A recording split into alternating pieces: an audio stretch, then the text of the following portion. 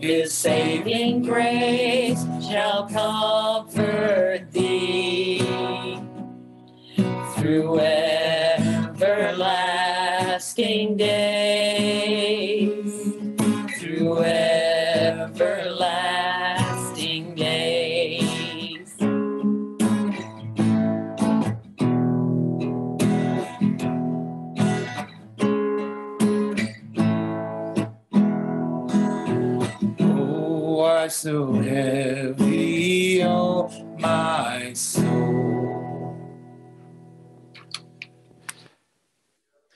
Good morning and welcome to our worship this morning. Uh, I'm Father Taylor Albright. It's my pleasure to work up here, or worship, my pleasure to welcome you here. If I can get these words out, it's my pleasure to welcome you here this morning. It's the second Sunday in Lent, and so our service has a different uh, construction. We do our, our, our confession of sin at the beginning. We have our same readings. They take a certain kind of angle on things. Today we're going to talk about what does faith really look like, and uh, we're going to have times for prayer. So as we begin, just a reminder, we have two people here in the building today to take your calls. Now, you might say, hey, I don't have a, a world-ending catastrophe in my life right now, but you may need prayer. Jesus said there were two or three are gathered in his name, he's in the midst of them. There's a reason he talked about two or three. And so if you need prayer today of any kind, even some encouragement, please give a call today. Uh, you can do that beginning now all the way to the end of the service.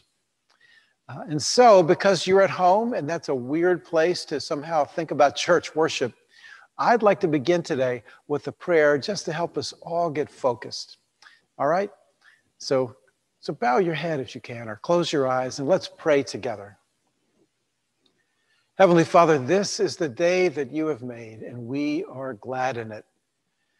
And we certainly wish, Lord, that this COVID virus had never happened and that we were here in church and in all the places where we go to church, but yet you've given us this technology that we can still stay connected to each other and to you. So I pray right now for every person who's watching on Facebook, for every person who's watching on Zoom.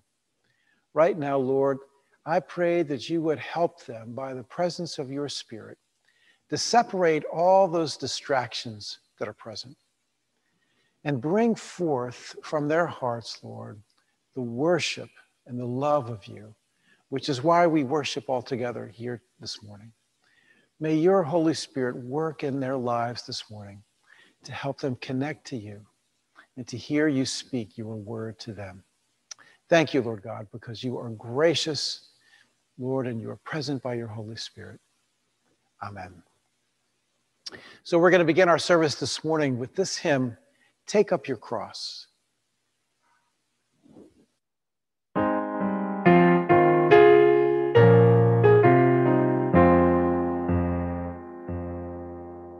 Take up your cross, the Savior said,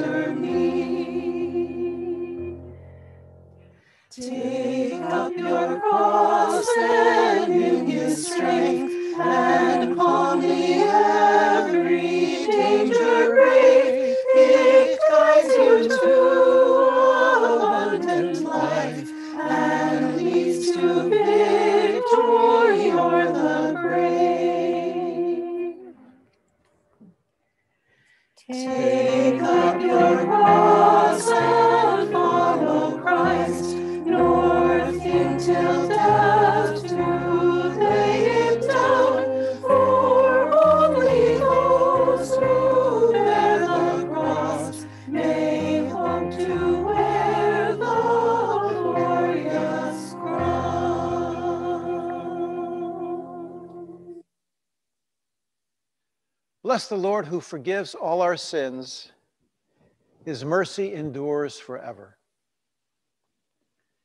Jesus said, The first commandment is this Hear, O Israel, the Lord our God is the only Lord. Love the Lord your God with all your heart, with all your soul, with all your mind, and with all your strength. The second is this love your neighbor as yourself. There is no other commandment greater than these. And so now let us confess our sins against God and our neighbor, saying, Most merciful God, we confess that we have sinned against you in thought, word, and deed, by what we have done and by what we have left undone. We have not loved you with our whole heart. We have not loved our neighbors as ourselves. We are truly sorry and we humbly repent. For the sake of your Son, Jesus Christ, have mercy on us and forgive us, that we may delight in your will and walk in your ways to the glory of your name. Amen. Almighty God, have mercy on you, forgive you all your sins through our Lord Jesus Christ, strengthen you in all goodness, and by the power of the Holy Spirit, keep you in eternal life. Amen.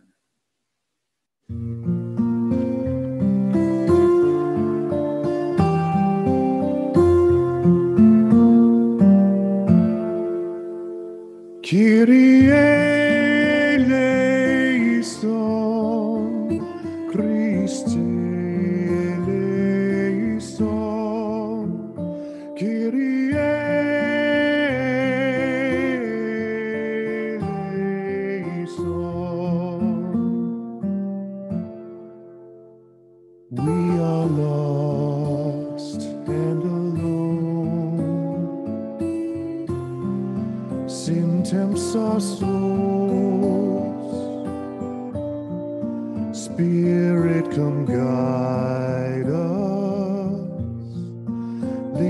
us back home.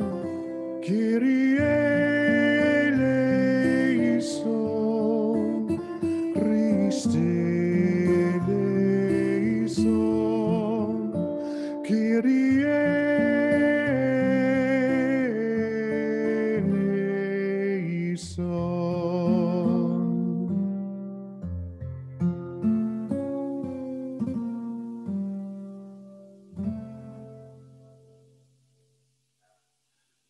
Lord be with you.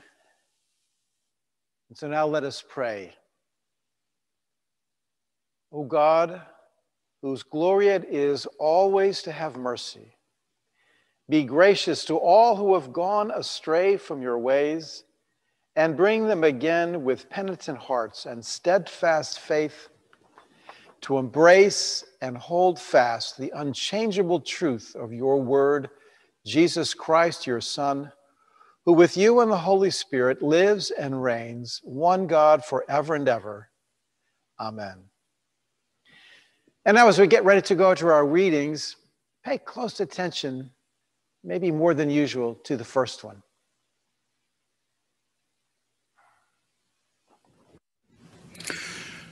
Today's reading from Hebrew Scripture is from the book of Genesis.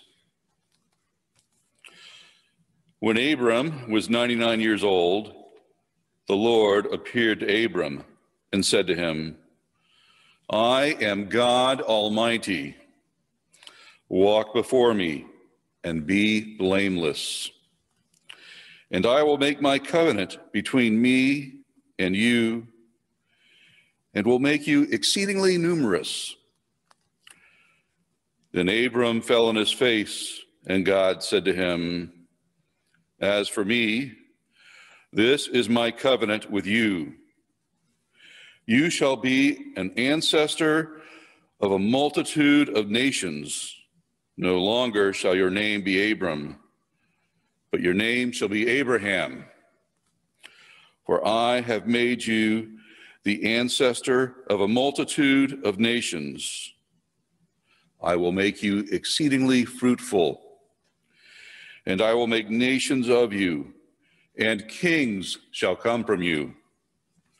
I will establish my covenant between me and you and your offspring after you throughout their generations for an everlasting covenant to be God to you and to your offspring forever after you.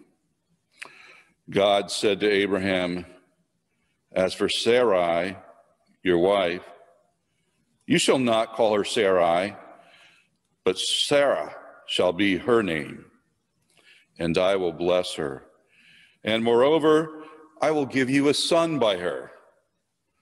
I will bless her and she shall give rise to nations. Kings of people shall come from her. The word of the Lord. Please join us in reading Psalm 22, verses 22 through 30 responsively. Praise the Lord, you that fear him. Stand in awe of him, O offspring of Israel. All you of Jacob's line, give glory. For he does not despise nor abhor the poor in their poverty. Neither does he hide his face from them. But when they cry to him, he hears them. My praise is of him in the great assembly. I will perform my vows in the presence of those who worship him. The poor shall eat and be satisfied, and those who seek the Lord shall praise him. May your heart live forever. All the ends of the earth shall remember and turn to the Lord, and all the families of the nations shall bow before him. For kinship belongs to the Lord, he rules over the nations. To him alone, all who sleep in the earth bow down and worship. All who go down to the dust fall before him. My soul shall live for him. My descendants shall serve him. They shall be known as the Lord's forever. They shall come and make known to a people yet unborn the saving deeds that he has done. Today's epistle is from the letter of Paul to the Romans, chapter 4. The promise that he would inherit the world did not come to Abraham or to his descendants through the law, but through the righteousness of faith. If it is the adherents of the law who are to be the heirs, faith is null and the promise is void, for the law brings wrath. But where there is no law, neither is there violation. For this reason, it depends on faith in order that the promise may rest on grace and be guaranteed to all his descendants, not only to the adherents of the law, but also to those who share the faith of Abraham. For he is the father of all of us, as it is written, I have made you the father of many nations. In the presence of the God in whom he believed, who gives life to the dead and calls into existence the things that do not exist, hoping against hope, he believed that he would become the father of many nations, according to what was said, so numerous shall your descendants be. He did not weaken in faith when he considered his own body, which was already as good as dead, for he was about a hundred years old, or when he considered the barrenness of Sarah's womb. No distrust made him waver concerning the promise of God, but he grew strong in his faith as he gave glory to God, being fully convinced that God was able to do what he had promised. Therefore, his faith was reckoned to him as righteousness. Now, the words, it was reckoned to him, were written not for his sake alone, but for ours also. It will be reckoned to us who believe in him who raised Jesus our Lord from the dead, who was handed over to death for our trespasses, and who was raised for our justification. The word of the Lord. Thanks be to God. The Holy Gospel of our Lord Jesus Christ, according to St. Mark. Glory to you, Lord Christ. Jesus began to teach his disciples that the Son of Man must undergo great suffering and be rejected by the elders, the chief priests, and the scribes, and be killed, and after three days rise again. He said all this quite openly, and Peter took him aside and began to rebuke him. But turning and looking at his disciples, he rebuked Peter and said, Get behind me, Satan, for you are setting your mind not on divine things, but on human things. He called the crowd with his disciples and said to them, If any want to become my followers, let them deny themselves and take up their cross and follow me. For those who want to save their life will lose it, and those who lose their life for my sake and for the sake of the gospel will save it. For what will it profit them to gain the whole world and forfeit their life? Indeed, what can they give in return for their life? Those who are ashamed of me and of my words in this adulterous and sinful generation, of them the Son of Man will also be ashamed when he comes in the glory of his Father and with the holy angels. The gospel of the Lord. Praise to you, Lord Christ. Well, good morning again. Before I start, just like to take 30 seconds to pray and just to quiet our hearts. So please join me. Heavenly Father, thank you again for your grace, the grace that has brought us to know you. Thank you for your Holy Spirit, the very presence of God within us. Now, Lord, help us to be present to you.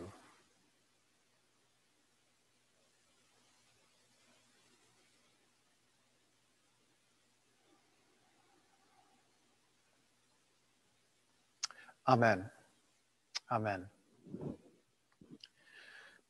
Well, in this past year, it's one of those things you don't have to explain, but we went from being busy, stressful people to being busy, stressful people now with the stress of COVID. It just kind of blew out all the circuits for a lot of us and just a lot of pressure.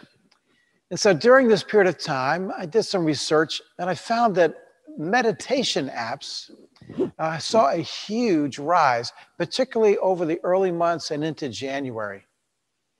The top 10 meditation apps that you can get on your phone right now uh, have more than, catch, this, 10 million subscribers. And there's some really good ones.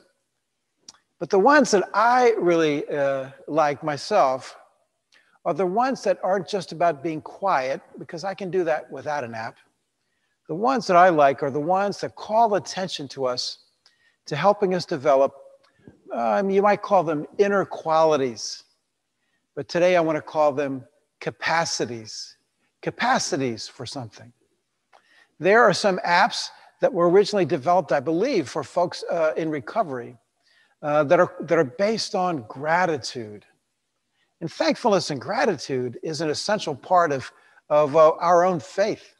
Uh, Paul said to give thanks in all things is really a practice of ours that we don't take up. But these apps have. And if you use them, you really do begin to create a greater sense of awareness of things you're thankful for. And that's important, not just because, oh, thankfulness is a good thing. That's important because thankfulness makes us aware that all that we have in our life and all the responsibilities of our life are not on us alone. Um, much of we have, maybe everything from our perspective, has come to us as a gift. And when you're able to give thanks, you realize everything I have has come as a gift. I'm very blessed. And so apps like gratefulness and thankfulness, there's some of mindfulness. And mindfulness is super important in this world today because while we're dealing with, oh, I wish I could go back to the past, and or maybe even dealing with problems from the past that we're more aware of because we can't get distracted as much.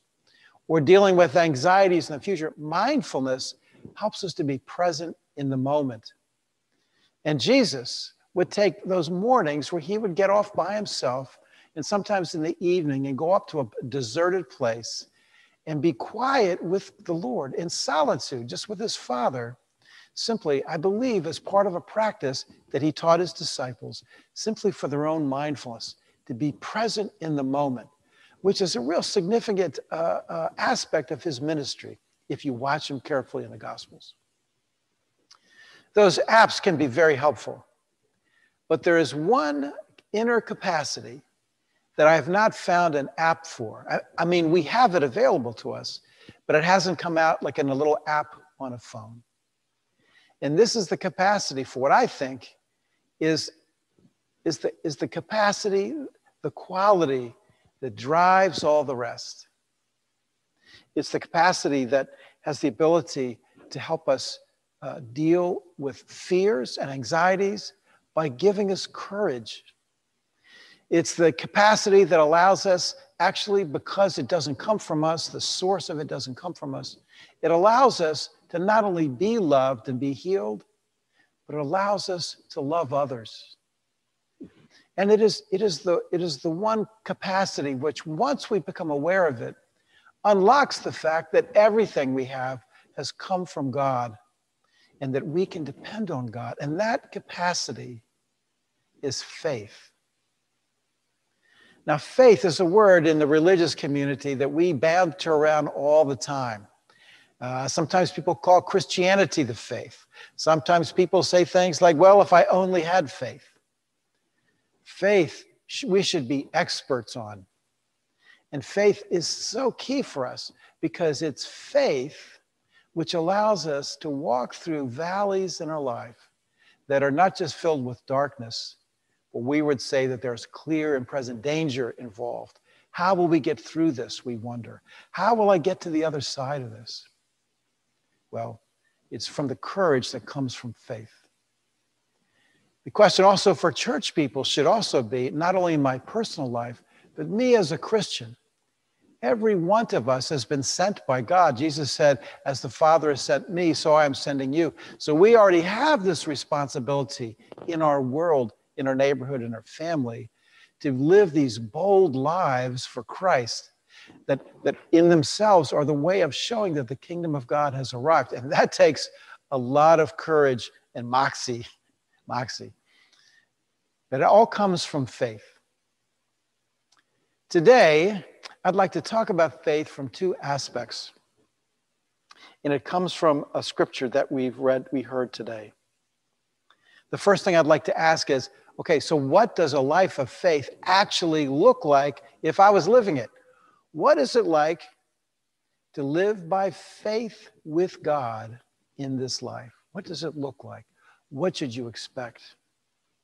And the second is, what makes our faith, the faith that's talked about in the scriptures and that's lived, you know, from all those years down to us, what makes our faith unique among other practices and other faiths? So that's what we'd like to look at today. My hope is that as you hear about it, not only will you become more curious, but that you will go deeper, that you will do the things that take you deeper in your faith. But we'll talk about that at the end. So, right now, I'd like to look back at the scriptures that we heard. It was that first reading I was giving you a heads up. I guess if the preacher always says, pay close attention to this scripture, that's probably a heads up. That's, what's, that's what he's going to talk about. And I want you to think about it's interesting.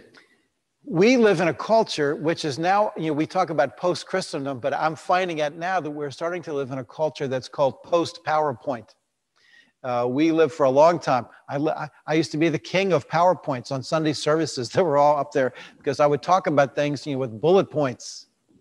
And now I'm finding that like even places like Amazon are getting rid of PowerPoint because they're saying it is more complete and more helpful to make these explanations through narrative.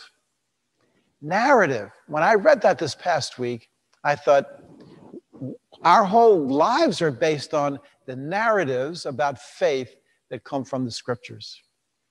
And so today we talked about this one person, this one person who was like from an ancient city called Ur, who was not a warrior. He uh, did not do miracles, but he became the father of many nations based on a promise from God and his faith. Right now, I think the estimates are that between uh, Christianity, Judaism, and Islam, that represents 6 billion people in our world today who trace faith in God to this guy, Abraham. The book of Genesis, you know, which is not, you know, forever long, has for, begins in chapter 12 and doesn't end till chapter 24. And so, so more than 12 chapters talking about the life of Abraham. It's a narrative of faith. And so today, you're just going to take a look at one little moment, little episode that I think opens us up to the narrative of faith that we see coming from the life of Abraham that should instruct us and help us and open us to greater life of faith. So, you ready?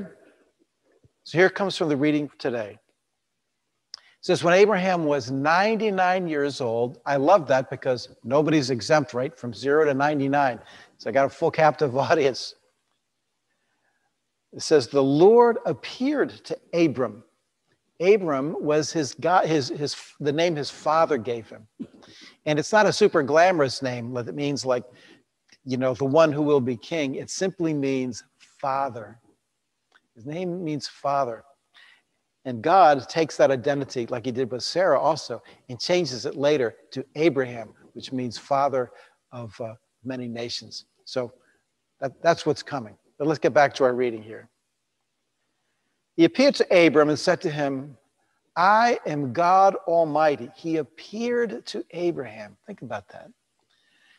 And said to him, I am God Almighty. Walk before me and be blameless. And I will make my covenant between me and you, and will make you exceedingly numerous. I want you to think about these two phrases walk before me, and I will make a covenant with you. Walk before me, and I will make a covenant with you. First of all, what does it mean to walk before the Lord? In general, we think, and most scholars agree, that it means to walk in the presence of God. What does that mean? It means that in everything that you do, you're waking up, you're going to bed, you're fixing food, you're going to work, your conversations, you remember that you were doing it all in the presence of the Lord. right? So, so that has an, a lot of impact. But here's what I'm going to focus on today. There are a group of rabbis who believe there's a little twist to it as well. It says, Walk before me means that Abraham was called to walk in front of God, as if God was behind him, and that he, Abraham walks in the front. Why does that have any significance? Well, I tell you why it's really helpful for me. Is because the character of the way that faith operates often feels like God is behind me more than God is right and ahead of me. Now, Abraham's life. You know, Abraham's life, here he is, the father of faith. And we would expect, if as Americans who have grown up with uh, Disney and other movies, we would expect to hear that the hero of our faith accepted this, this bargain from God. I will make this covenant with you if I walk before you. And he walked before God. And you know, everything worked out. You know, he went from here to there and he, he had all triumphs. You know, in a business model, we would say his whole life now that he was walking with faith, was up and to the right. You know, like those quarterly profits never dipped, they just went up and to the right. Because wouldn't that be a life walking with God? Wouldn't that would be like? Wouldn't you expect it to be somewhat like a Teflon coated light? Do we still use Teflon? But if you know what I mean, like somehow coated that, like, yes, other things were happening to other people, but no, I walked by faith and my life never had those problems. I never had sleepless nights. I never had like, like dark days where I wondered if there was a God. And then you read the narrative of Abraham's life.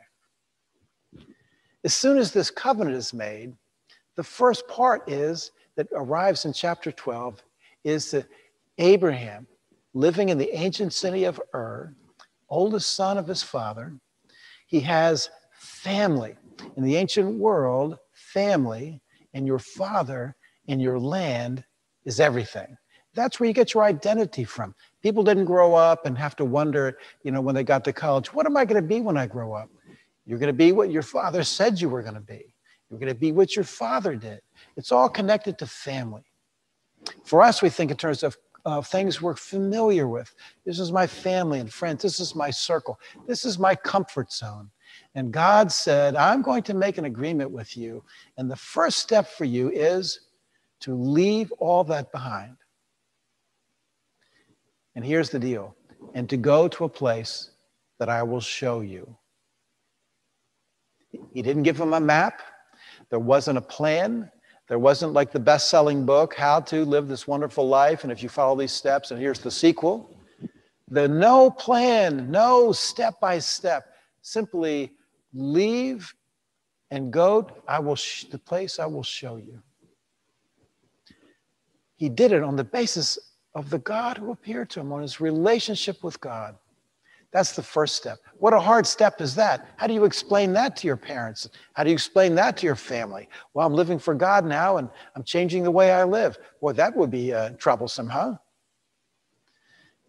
as soon as he goes out, as he's moving along and they're moving to, toward where they should go, his nephew says, Actually, I like it here. I'm going to stay. And there's a big family split as Lot and a bunch of his family members all go. And Abraham has to kind of suck it up, take a deep breath, and bless him. Later, he has to come back to rescue that Lot because the whole city is about to be destroyed. God's path leads him into places that are extremely dangerous before powerful kings like the Pharaoh of Egypt and other kings of, of smaller places, warlords. There are fights and battles, and usually Abraham's outnumbered and outgunned. Just because he wins doesn't mean in the moment he was not full of tension in dealing with what if. And the key to the whole covenant is this promise I will make you the father of many nations. And here he is now, arriving at a place in his life where he and certainly Sarah are beyond childbearing uh, age. And so, what do they do? They're walking before God. They're not sure what to do. They're, they have the promise. They're, they're not quite haven't arrived at it yet. And so they come up with their own plan. I've got an idea. Maybe God doesn't understand how difficult it is. Maybe God doesn't know that it's impossible for us to have kids. Uh, so, and so he takes uh, uh, Sarah's uh, uh, handmaiden uh, and, and they have a kid. And how does that turn out? Misery. Misery for that, for Hagar and Ishmael and the whole story. So, the purpose of the way of the faith works in Abraham's life is anything but a straight line. And everything came up golden, and there was no tension or anxiety. In fact, what it was really like was knowing the promise, but feeling like he was walking a little in front of God and always wondering, I think he's behind me to help. And so that was the way that faith worked. But here's the deal it did work because God was with them the whole way. And the way it happens is this, and that's the second part of the statement. And I will make my covenant with you. Now, a covenant isn't just a contract, and a covenant is not just a promise. A covenant in the ancient world was an agreement that's set up usually between a stronger one, like a king who just vanquished another country, and a weaker one, like the king who just got vanquished. And they would make an agreement, but a covenant with promises to each other. The stronger would make promises. I will not let other people attack you. I will make sure you be okay in famine. I will give you the benefits of being conquered by us if you remain faithful to the part that you do. You won't go seeking power from other kings. You won't go, uh, you won't stray off to some other source, that you remain faithful in our agreement. In the first, this is the first instant in the history of all ancient religions where God, the Holy One, makes a covenant with a person. Sure as there's gods who are like the God of the sun, there's a God of rain, there's a God of mountains, there's God in the seas. They're like natural things. Sometimes they do things on their own, which, which result in uh, why things go bad for people. This God is different. He's personal. He comes, he speaks with Abraham, he makes a covenant, he binds himself to the covenant. He has to fulfill it if he's going to be faithful. And he does. The source of faith for Abraham is not strong self will. And it's certainly not that he saw, like God handed him a, a, set of propositions about, do you believe the following? And then he said, yes, I do, and went on and lived his life. No, that, that really isn't faith at all. Faith is this interactive relationship with a God who seeks us first and a God who makes promises to us and offers us to join him in covenant for all of our lives. So our basis of our relationship is not our perfectness, is not our holiness, it isn't even our faithfulness to being to, to the law or, or fulfilling all the parts. It's God's faithfulness in this interaction through the experiences of real life to be faithful to the covenant. The other person of faith who's mentioned in today's readings is Jesus. Jesus is sent from God, it's part of God's mission. He is sent from God, but he's born human. And so he grows up learning through these scriptures about faith. At his baptism, he receives the Spirit, but he, there's no plan. They didn't build a big building. They didn't start the, the giant chapel of Jesus and you know outside of Jerusalem on a, on a well-traveled highway with a big parking lot. Jesus had to follow the Spirit. And was his life easy? Of course. You know, Jesus just led this wonderful, well, obviously. And then today we saw that he's speaking to his disciples. Not only will I go through these things, but you, you will too. And Jesus comes to a place where his faith had to be strong enough because of his relationship with the Father. And he even has that moment where he looks ahead and he can't see his way through the, the cross. He can't see his way through separation with the Father and the suffering on the cross. And he cries out to the Father, you know, take this cup from me. When it says that he prayed that three times, it doesn't mean one, two, three. It means he prayed that way all night. But in the end, he said, Not my will, but yours. And he gave himself over to faith in God, in this covenant relationship, that God will fulfill his promise. And for the joy set before him, it says, that was his promise to see his descendants, Jesus, his descendants by faith through those who trusted in him and what he did on the cross. It says he was able to endure the shame of the cross. That's in the book of Hebrews. So faith doesn't go straight line, doesn't always have a plan, isn't always easy, but God is always faithful. And the source of our faith is our continued interaction in coming to know this God more and more, not a one and done, continuing to reflect on the scriptures to see what a life of faith is like. Increasing our faith to the point that as we walk through the valley of the shadow of death, like I have this operation coming up and I don't know how it will turn out, that we see God bring us through. And every time God is faithful to his promise, it builds our faith. Every time we take a step in faith in, in uh, because of a call that God has us, and every time we see it fulfilled, it builds our faith. And God brings us through point to point to point. Here's the last thing I'm going to say this morning about this idea of walking in front of God. Have you ever noticed that you can never quite tell what God is doing in the midst of the times where you sometimes would like Him to say, I'm going to show you your future. I'm going to give you the next three years. I'm going to show you how you come through this and everything works out. Because then we would go, oh, that'd be great. But He doesn't. He calls us by faith. But once we get through, have you ever noticed that when you look back at your life, you see that God has been there in so many ways and touched more lives and involved in ways that you could have never imagined because we only get to see it clearly after we've gone through it as if God was behind us. We only kind of see where God really has been in our lives by looking back.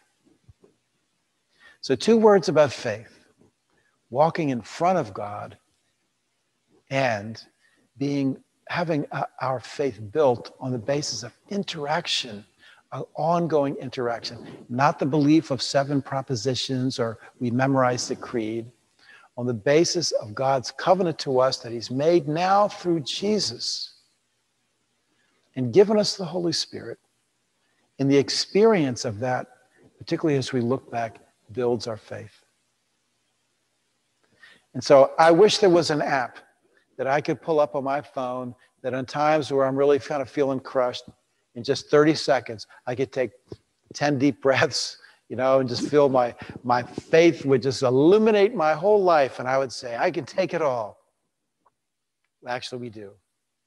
We have it through the promise of God, seeing in this person, Jesus, a person of history, who died on the cross and rose from the dead and changed the world. That's one aspect. And we get more and more out of it as we look back on the scriptures and we reflect on them and we think about what would this mean in my life? So let this be, if something's triggered in you, let this be an opportunity for you to get back to the apps that God has made available to you the Holy Spirit, scriptures, fellowship, prayer, serving others. So I say these things this morning to encourage you in the name of the Father and the Son and the Holy Spirit. Amen. So if you are new today, I just want to let you know that the way this will go is that we're going to say the creed now. And then when we move to the prayers of the people, uh, uh, I'm going to be praying the prayers that you send in. So, right now, if you're on Facebook, even if this isn't Sunday, you can still send your prayer requests in and we'll get them and get them to our prayer people and we will pray for you. But this morning, I want you to take this opportunity now to begin sending in either by Zoom or on Facebook, sending in those prayer requests that you have today and your thanksgivings. I also want to remind you if, like, maybe this sermon triggered something like, wow, I wish I had that kind of faith, or I don't really know about my faith, but I do have this difficult thing coming up ahead of me. Or I'm going to pray for my friend who doesn't have any faith, who's going through trouble. All those kinds of things you can right now pick up the phone, call the church number, which is there on your screen, and people will pray for you and pray with you. So don't miss an opportunity. Zoom is a weird thing, but you can actually have a person to person conversation and pray together with somebody right now. So please avail that, uh, that opportunity for yourself right now. And now we're going to continue with uh, kind of an explanation of what we believe by faith, uh, as known as the Nicene Creed. So please join me. We believe in one God, the Father, the Almighty, maker of heaven and earth, of all that is seen and unseen. We believe in one Lord Jesus Christ, the only Son of God, eternally begotten of the Father, God from God, light from light, true God from true God, begotten, not made, of one being with the Father. Through him all things were made. For us and for our salvation, he came down from heaven. By the power of the Holy Spirit, he became incarnate from the Virgin Mary and was made man. For our sake, he was crucified under Pontius Pilate. He suffered death and was buried.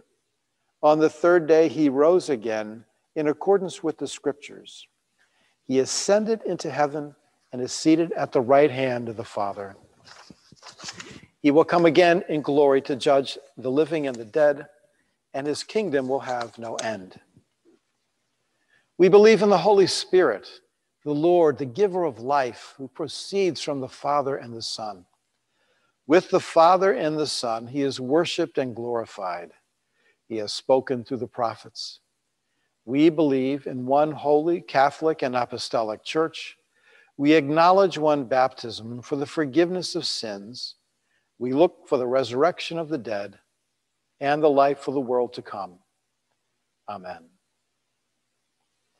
And now I'd like just to give you an extra minute simply to go ahead and to uh, make that text, send that uh, Zoom chat, but to go ahead and make your requests known. We'll take those and add those to our prayers.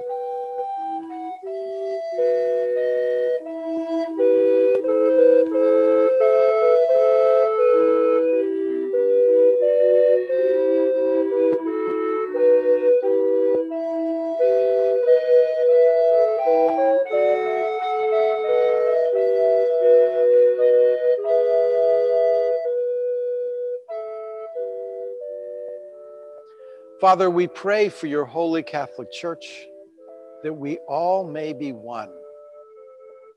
Grant that every member of the church may truly and humbly serve you, that your name may be glorified by all people. We pray for all bishops, priests, and deacons, that they may be faithful ministers of your word and sacraments.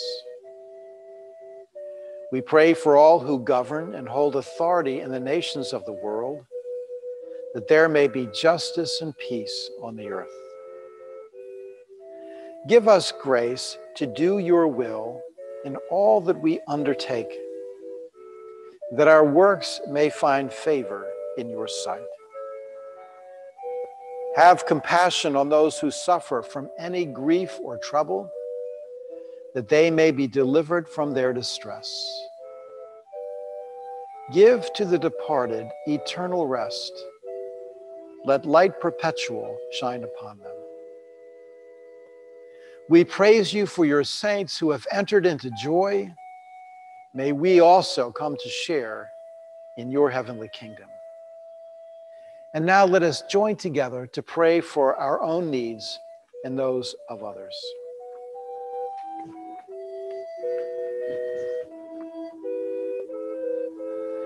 We continue to pray, Lord, for this world which you made, which you continue to love. And we pray for all those who struggle and suffer right now. We try to remember, Lord, those who have been forgotten, refugees, people who have been made homeless through war or conflict, people suffering, suffering without the basic amenities of life. We pray, Lord, that you would meet their needs. Let not the voice of the poor be forgotten. And we pray, Lord, help us to be aware of their needs and to be ready to share generously with them. We pray, Heavenly Father, for the continuing issues of the COVID virus here and abroad. We pray, Lord, for the continual ordered way of getting the vaccine out. We pray for healing. And we pray for those who are related to the 500,000 people in our country, 500,000 who have lost their lives in the last year due to this virus. We pray, Father, for the outpouring of your Holy Spirit. We pray for people who do not yet know you. We pray for areas where we need your Holy Spirit at work in the world. And we pray, Heavenly Father, for your Spirit to fill your church, your community of people, to do the will, the work that you have given us to do.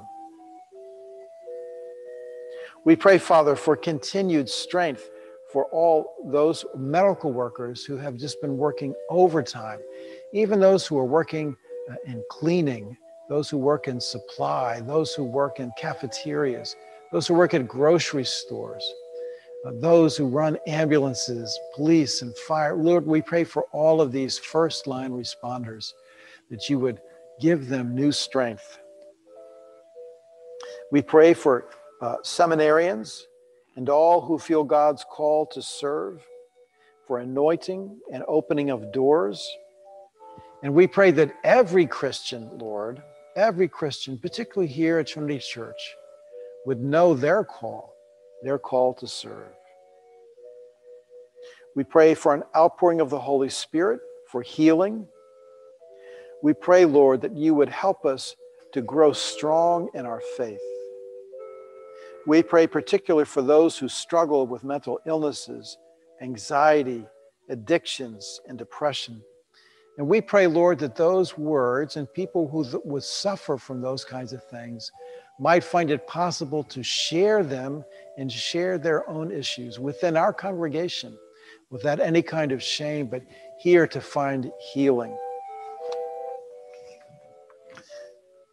We pray for our vestry. We pray for our vestry as we seek God's direction and for our two hour mini retreat today. We pray for students and parents and teachers, all who struggle with online learning.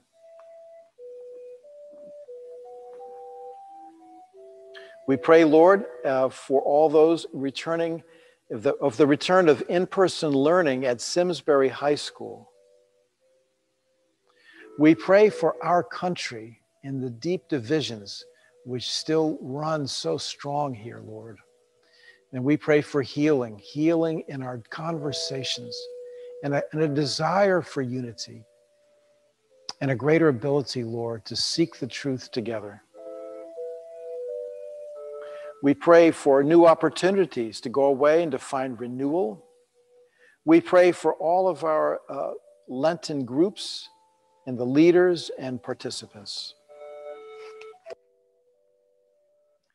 And we pray, Father, for various people, Lord, as they as they go through their struggles, we pray for these people for help and healing. For Garrett and Ronnie and Retta. For JT and the entire Good Arts Surgery family. We pray for Linda this week coming up with knee surgery and Carlita. We pray for strength for Candy we pray for Mark as he has another appointment coming up this week dealing with liver cancer. And we pray, Lord, that there would be healing, Lord, healing and improvement. And for that, we pray we're all those that we know who are dealing with cancer. For Tara and Jim, Mike, Brogan, for Anita, Kathy, Donna, Doug, Cameron, and Chip. We pray also for Stephen. We pray for your healing for Lisa. We pray, Father, that you would breathe your breath of life into her lungs and bring healing and particularly encouragement, encouragement and hope. We pray for Bob and his ongoing cancer treatment and for the entire family. For Marie as she begins treatment. We also pray for Shirley and Larry and Marie and Charles. We pray for Anne dealing with very serious cancer and being alone, and for her three children Heidi, Robert, and William. I'd like to give you an opportunity right now that there may be names or situations that you'd like to pray for. Just to give you a moment to go ahead and lift those prayers as if we were, well, we're all together now. So go ahead and lift those prayers to the Lord.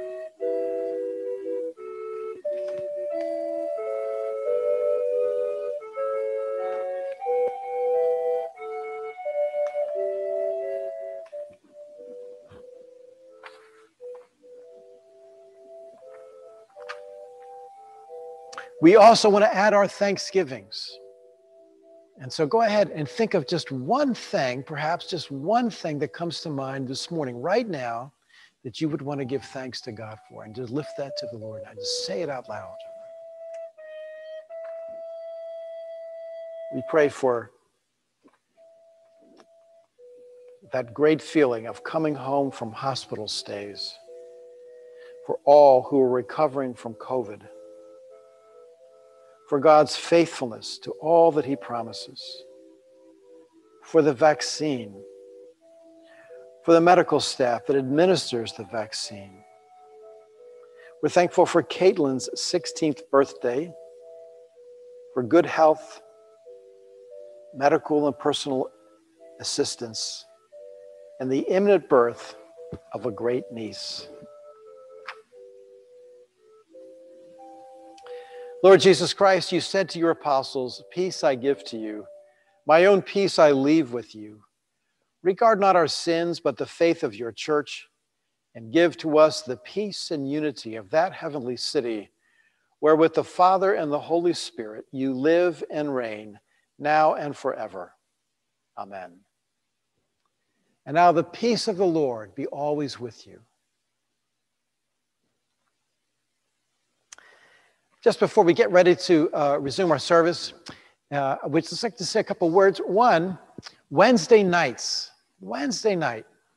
Uh, maybe you feel like you're too busy and you couldn't get into one of our groups, although I wish you would inquire because I think you still sneak into a, uh, to a great Pray As You Go app group. I mean, how easy is that? Uh, but Wednesday nights at 7 o'clock, we have a service of evening prayer that has music. Uh, you know that usually once a year we have about this time we have a very large service we call evensong and we kind of fill up the whole church and we go through a whole song service. Well we couldn't do that this year but we do have every week wednesday night seven o'clock on zoom we have our prayer, prayer our evening prayer that has music. We have some very gifted people who are offering their musical uh, skills and some great hymns and some service music, some really wonderful stuff. And some of it's even set to video. Uh, we did our first one last week. I found it myself. Well, I got a little confused as the Zoom runner. I, I kind of got a little confused, but we, uh, we, we came through it with no injuries. But I have to admit, I found it exceedingly peaceful, uh, particularly as we ended with the final hymn. The entire service was 34 minutes. 34 minutes. And so I would encourage you to think about coming this Wednesday night uh, to our, our service of evening prayer with music. You'll also note if you go to our website, we now have four uh, different editions of the prayer of examen. It's a very unique kind of prayer, which only it takes about 15 minutes to do. Uh, and what it does is it seeks to find where is God already present in my life it's one of those things that increases our capacity, and particularly our capacity to be aware of God, very close, maybe a little bit behind us, but aware of God in our lives. A prayer of examen with today's sermon is when we get to look back at the last 24 hours and see where God has been. I find it extremely healing and centering and helpful. And so we have four different uh, uh, uh little, little versions of that uh, that are walking you through that with some uh, peaceful rivers and things in the background. So I just want to uh, put that out there to you as well. All right. I do ask your prayers as soon as our service is over at noon. Uh, the vestry members who could be available are meeting today. We really wanted to meet in person uh, outdoors. Midweek, it looked like it was possible. Then a little past midweek, it looked like it was going to rain. And so, anyway, we're meeting on Zoom, which has its limitations, but we're really seeking to get to know one another, to be able to pray together and lead as a group. Okay? So walk in love as Christ loved us and gave himself for us, a sacrifice and offering unto God.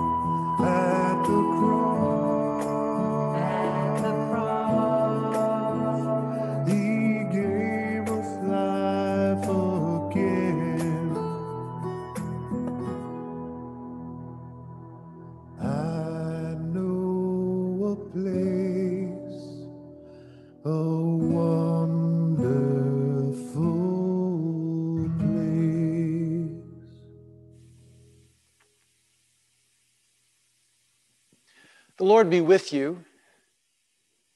Lift up your hearts. Let us give thanks to the Lord our God.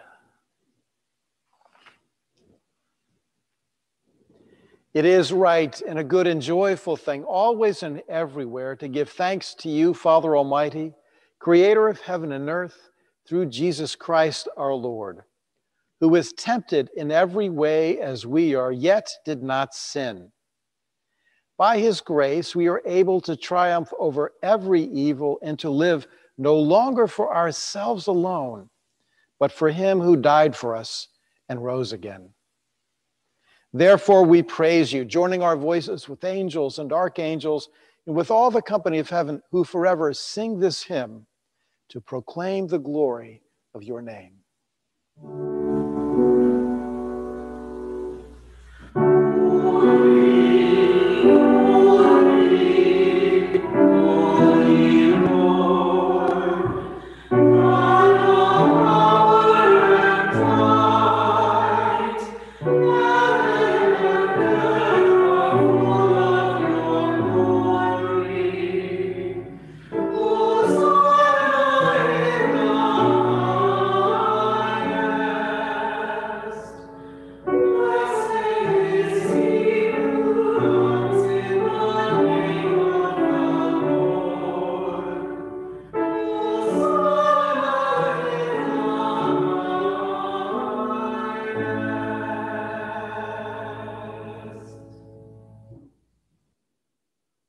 Gracious Father, in your infinite love, you made us for yourself.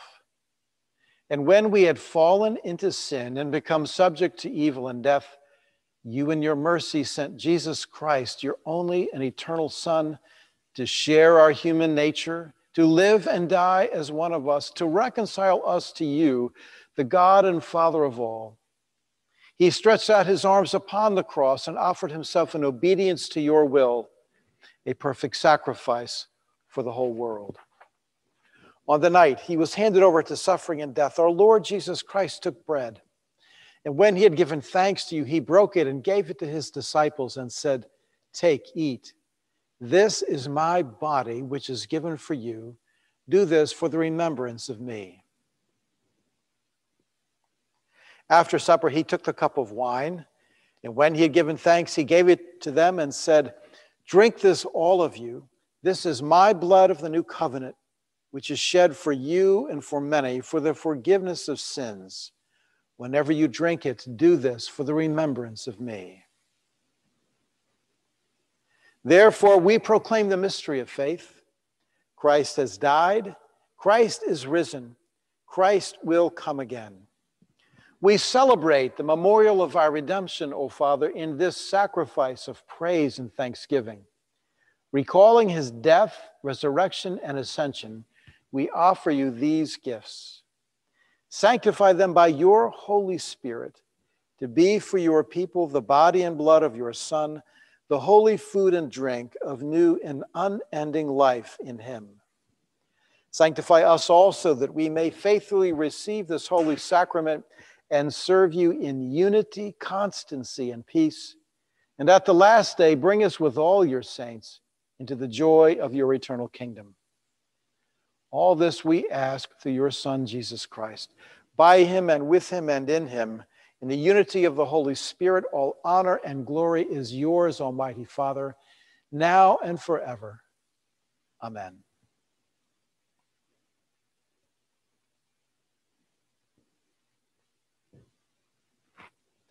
And now, as our Savior Christ has taught us, we are bold to pray, Our Father, who art in heaven, hallowed be thy name.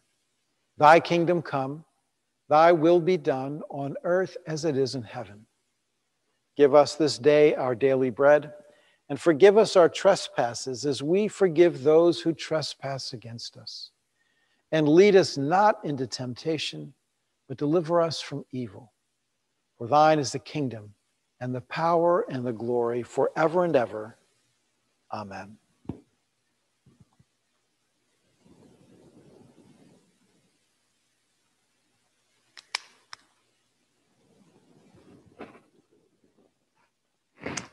Christ, our Passover, is sacrificed for us.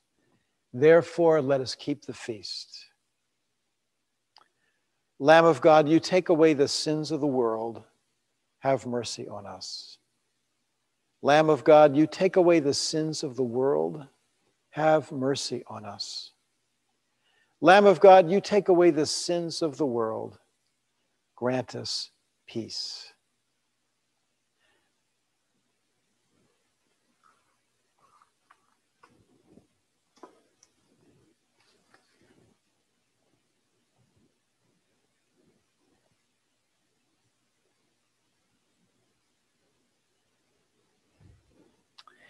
And now, because we're unable to be together to celebrate the Holy Eucharist in this way, I would encourage you to pray with me the prayer of Saint Alphonsus. Saying with me, My Jesus, I believe that you are present in the most holy sacrament of the Eucharist. I love you above all things, and I desire to receive you into my soul. Since I cannot at this moment receive you sacramentally, come spiritually into my heart. I embrace you as if you were already there and unite myself wholly to you. Never permit me to be separated from you. Amen. Amen.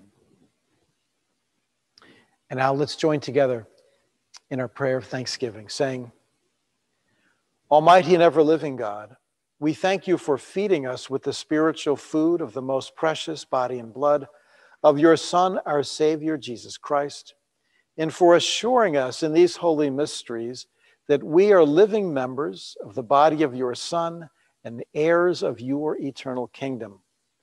And now, Father, send us out into the work to do the work you have given us to do, to love and serve you in as faithful witnesses of Christ our Lord. To him, to you, and to the Holy Spirit, be honor and glory now and forever. Amen.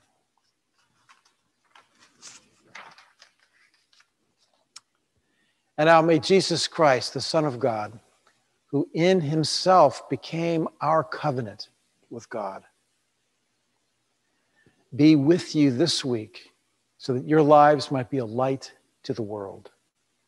And the blessing of God Almighty, the Father, the Son, and the Holy Spirit be among you and remain with you always. And now, would appropriate hymn as we close the God of Abraham praise.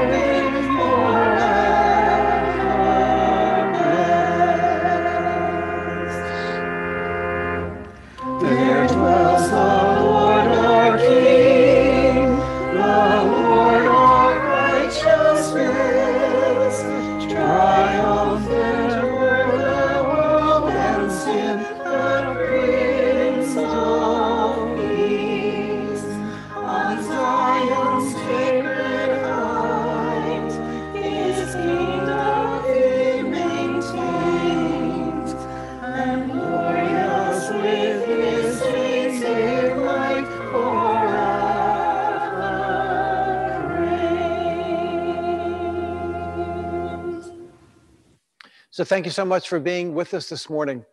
Uh, even if this is Wednesday or Thursday and this is the first time you've seen it, if something's touched your heart, please send us an email or, or give us a phone call. It's a virtual community, but we can still connect with each other. And in that way, remember if you're on Facebook, if you share this service, it just allows a lot of other people to maybe hear something that God would like them to hear. So hit your share button and Send a couple, couple hearts up as you go. So again, you have about three or four more minutes to be able to make a call here for prayer. If God's, God's tugging on your heart, don't let, them, don't let the, the moment pass. Go ahead and call. We have two people here to pray with you. And so now, let us go forth in the name of Christ. Thanks be to God.